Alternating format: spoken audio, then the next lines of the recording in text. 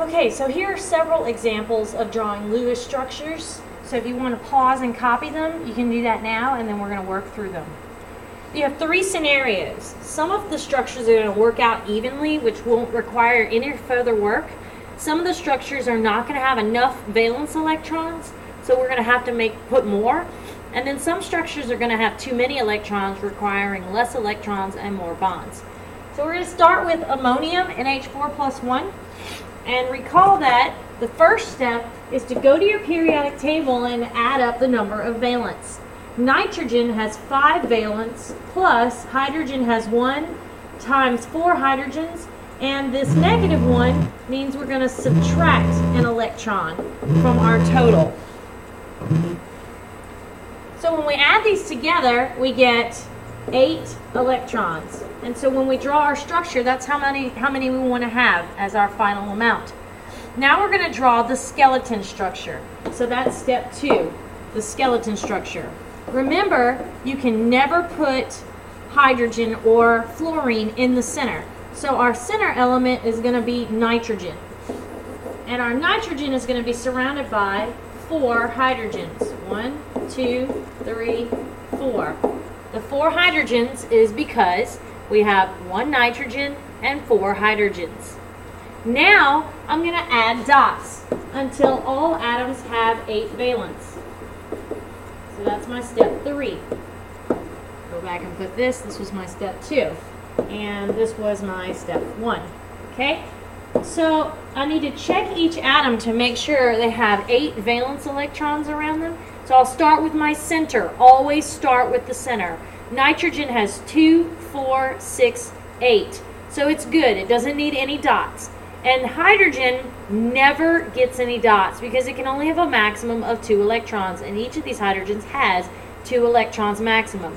So now that I have counted, and each atom has its octet or duet, I'm going to count my total.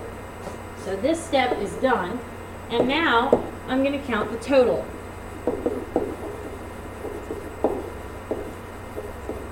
So when I add, my total number of electrons is going to be 2, four, six, eight. Because my total number of electrons matches my number of valence, then this is finished. CCl4, step one, add up your valence. Carbon has four plus chlorine has seven times four makes 32 electrons. Next, I'm going to make my skeleton structure. Carbon is going to go in the center because it's the least electronegative element and it's surrounded by four chlorines. The third step is going to be to add my dots. Start on the center. Carbon has two, four, six, eight. I do not need to add dots to carbon. Each chlorine, however, only has two, so they'll each need dots. So that's two, four, six, and the bond makes 8. And I'll do this for each of the other chlorines.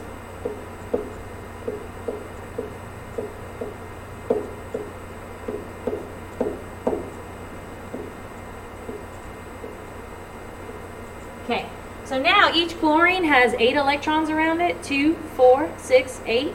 Two, four, six, eight. Eight and eight. Everyone has an octet. Step four states to check your total. And so when I count my total, I have 2, 4, 6, 8, 10, 12, 14, 16, 18, 20, 22, 24, 26, 28, 30, 32. Since my total matches my valence, then this one is finished.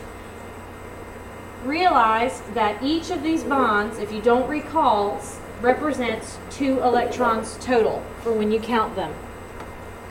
Okay, NH3. Step one, add up your valence. 5 plus 1 times 3 is going to equal 8 electrons. Step two, draw your skeleton structure. Never put hydrogen in the center. So it's going to be nitrogen with three hydrogens around it. Step three is going to be to add the dots. And this time, when we start on the center atom, which is what you should always do, nitrogen only has two, four, six. I need one more pair of dots to make eight around the center. Because I have a pair on the center, I'm going to put a bubble kind of like this around it. And this is going to signify that I have what's called a lone pair on the center.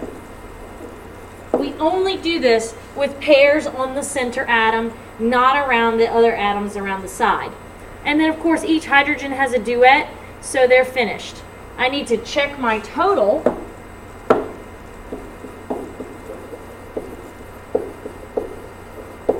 And if I add all the electrons around the total structure, I have two here, four, six, eight, and because I have my eight electrons and that matches this amount right here, that means I'm finished. The center, I like to also call that an alien head because it kind of looks like an alien. So we have one alien head on alien head on this structure. Okay, PCl6 with a negative one charge. First, we're going to add the valence. Phosphorus has 5 plus 7 for chlorine times 6 chlorine atoms plus 1 for the charge. And that's going to give me a total of 48 electrons. Let's see what we have with this particular scenario. Now we're going to draw the skeleton structure and phosphorus goes in the middle. It's surrounded by six chlorines. So this is how I tend to like to draw six. I kind of make a star and I put all chlorines around it. And now I'm on to my next step, which is step three. I got to add my dots.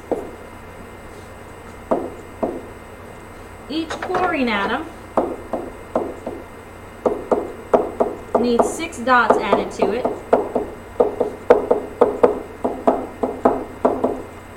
And notice I put the dots kind of like in pairs.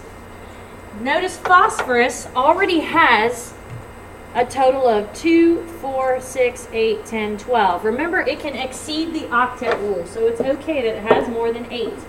Now let's check our total number of valence.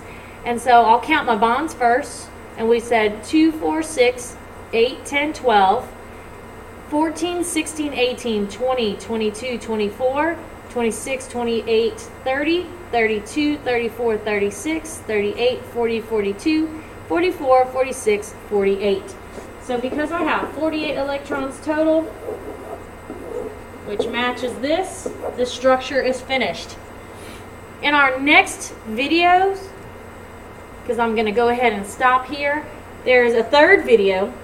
And in the next video, you're going to see a few examples where it doesn't end up working out evenly. We might end up with not enough electrons or too many. So if you'd like to review this video, all the ones we've done so far all worked out evenly.